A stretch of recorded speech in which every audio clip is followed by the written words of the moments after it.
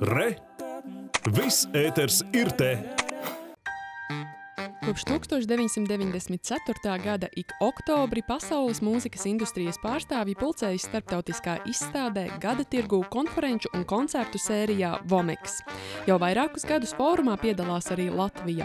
Aizvadītajā nedēļā Vomeks notika Portugāles pilsētā Porto, un mūsu mūzikas nozares pārstāvji teica, ka pasākums devis jaunu uzrāvienu un pozitīvas emocijas cilvēki ir ārkārtīgi izsalkuši pēc dzīvā kontakta, satikties, iespaidoties, redzēt vienam otru, piedzīvot dzīvo mūziku, kopā smelties spēku un, protams, arī veicināt sadarbību, jo lietas sāk notikt tikai tad, kad cilvēki satiekas viens ar otru.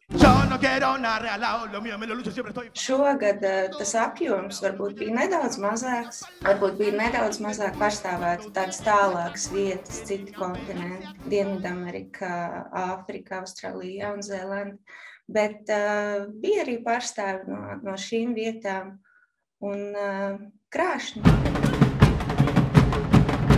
Vomeks piedāvājums ir daudzpusīgs. Iespējas iepazīties, iegūt jaunus sadarbības partnerus, prezentēt savu valsti un muzikālo apvienību, klausīties jaunu mūziku un iepriekš nedzirdētus mūziķus, piedalīties konferences sesijās un diskusijās. Satiekoties dažādu tautu pārstāvjiem, enerģija bieži vien plūst pāri malām. Brazīļu mūziķi muzicē uz skatuves, un cilvēki ir tik priecīgi, ka viņi sāk šajā nacionālajā teātrī, tādā baroka ēkā, iet vilcieniņā apkārt cauri rindām un rokas gaisā, un visi priecājās un vienkārši svin dzīvi un bauda šo mūziku un kopā būšanu. Latvijas pārstāvi šogad uzmanību sev pievērsa gan ar tautas dziesmu dziedāšanu, gan ikgadējo izlasi Native Music. Tur ir dažādu stilu etniskā mūzika, tradicionālā folk mūzika, pasaules mūzika.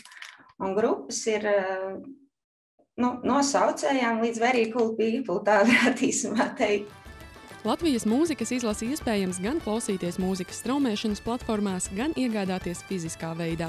Jāpiebilst, ka prezentēt mūsu valsts dažādo žanru mūziku Latvijas mūzikas informācijas centrs dodas arī uz starptautiskajiem pasākumiem Classical Next un Jazz Ahead, kur satiekas klasiskās un džēza mūzikas profesionāļi.